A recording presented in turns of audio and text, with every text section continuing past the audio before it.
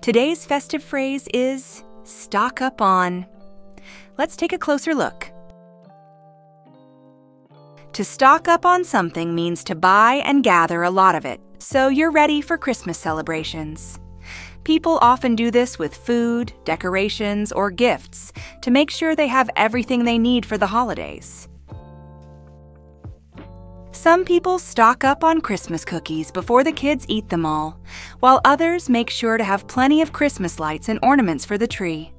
It's also important to stock up on wrapping paper and tape before Christmas Eve to avoid any last minute surprises. What about you? What do you stock up on to get ready for Christmas? Let me know in the comments. Don't forget to hit the bell so you won't miss another festive word. See you tomorrow.